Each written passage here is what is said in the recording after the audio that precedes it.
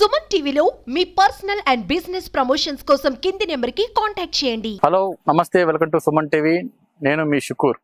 ఇటీవల కాలంలో హైదరాబాద్లో ఒక పటాసుల్ షాపులో జరిగిన సంఘటన దృష్టిలో పెట్టుకొని ఈరోజు దర్శి సిఐ గారు పటాసులు యాజమానులకు సూచనలు ఇవ్వడం జరిగింది. అసలు ఏంటనేది తెలుసుకుందాం రండి. రెండు మూడు రోజుల్లో రానున్నటువంటి దీపావళి పండుగ సందర్భంగా అందరికీ కూడా దీపావళి శుభాకాంక్షలు. ముఖ్యంగా దర్శి ముళ్ళమూరు తాళ్ళూరు మండలాల పరిధిలో అందులో దర్శిలో మన గవర్నమెంట్ హై స్కూల్లో ఈ క్రాకర్స్ అమ్ముకునే దానికి లైసెన్సులకి అప్లై చేసినటువంటి వారు ఎవరైతే ఉన్నారో వారు ఖచ్చితంగా మీకు ఇచ్చినటువంటి ఇన్స్ట్రక్షన్స్లో ఏ విధంగా అయితే ఫాలో అవ్వాలో ఆ ఇన్స్ట్రక్షన్ ప్రకారం ఖచ్చితంగా ఫాలో అవ్వాలి.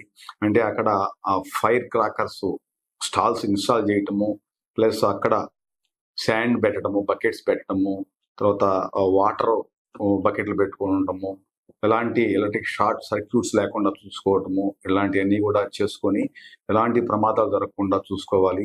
మనం ముఖ్యంగా రాత్రి నిన్న మన హైదరాబాద్ సిటీలో కోటి సెంటర్లో ఒక క్రాకర్ షాప్లో ఒక భయంకరమైనటువంటి ప్రమాదం జరిగింది.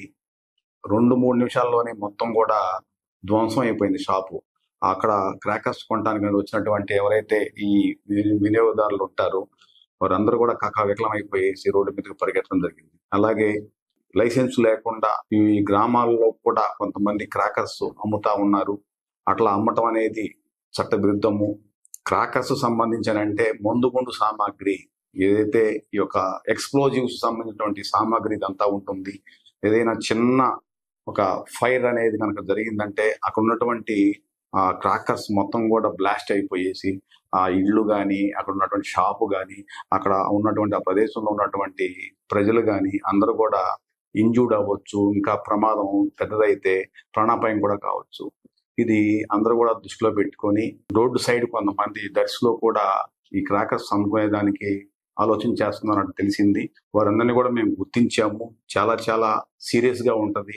ఏదైనా ప్రమాదం జరిగిందని అంటే అనుమతి లేకుండా రోడ్ల మీద షాపుల్లో క్రాకర్స్ కనుక ఎవరైతే అమ్ముతారో అటువంటి వారిని గుర్తించి వారి మీద కఠినమైనటువంటి చర్యలు తీసుకుని చట్టపరమైన చర్యలు తీసుకుంటారు. దయచేసి గమనించండి ఇది చాలా ప్రమాదకరమైనటువంటి అంశం కాబట్టి మళ్ళీ మళ్ళీ చెప్తా ఉన్నాము. క్రాకర్స్ అనే వాటిని ఎవరైనా అమ్ముకోవాలనుకున్న వారు ఆల్రెడీ పర్మిషన్కి లెటర్ పెట్టున్నారు. పర్మిషన్ తీసుకున్న వారు మాత్రమే అమ్ముకోవాలి. పర్మిషన్ లేకుండా ఎవరైతే అమ్ముతారో వారి మీద కఠినమైనటువంటి చట్టపరమైన చర్యలు కూడా తీసుకునబడను. దయచేసి గమనించగలరు. అందరికీ మరొకసారి దీపావళి శుభాకాంక్షలు.